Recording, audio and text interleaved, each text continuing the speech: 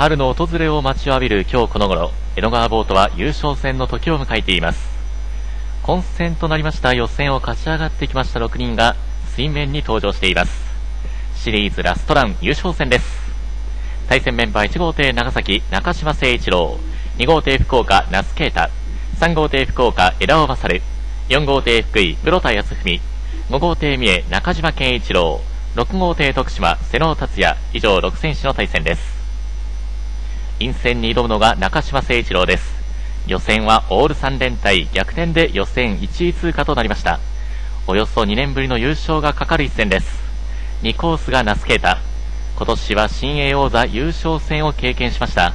今シリーズは5勝マーク。足は上位級だと胸を張って言っておりました。3コースが枝尾勝です。予選1位の座は譲りましたが、今年早くも5回目の優出、そして今年2回目の優勝はなるか。4コース角、室田康文。予選後半3連勝で底力を見せました。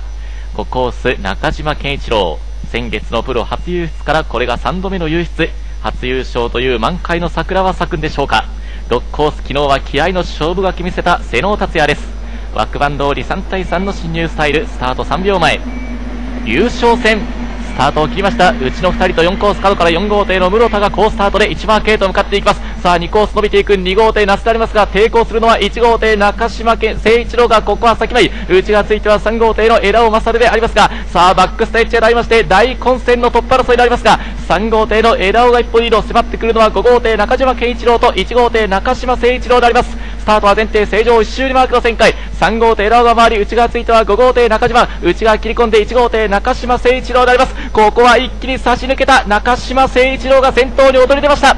3号艇の枝尾が2番手交代。13体制で大時計前を通過。3番手は混戦。2号艇ナスライポリード迫る6号艇瀬能そして5号艇中島健一郎。2周1マーク1号艇中島誠一郎。3号艇の枝尾勝が2番手。3番手から6号艇瀬能が抜け出しましてバックストレッチへと抜けていきます。内がついて差を詰めるのは2号艇那須が4番手の位置。さあ那須がここは並んでまいりました。2号艇那須6号艇の瀬能が並んだ状態。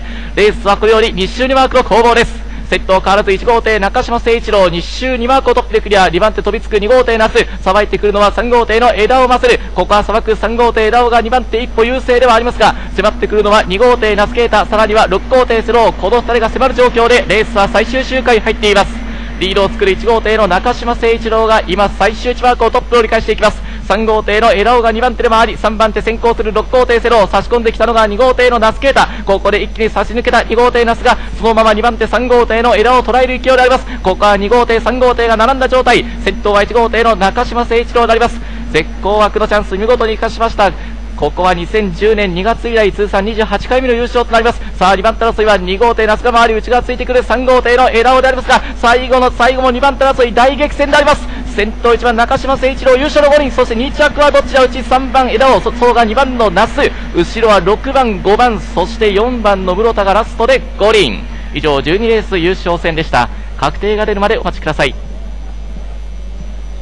江戸川ボート第11回関東日刊誌ボートレース記者クロア杯見事優勝を飾ったのは中島誠一郎です。ただいまのゴール確定が出ました。2着は3番。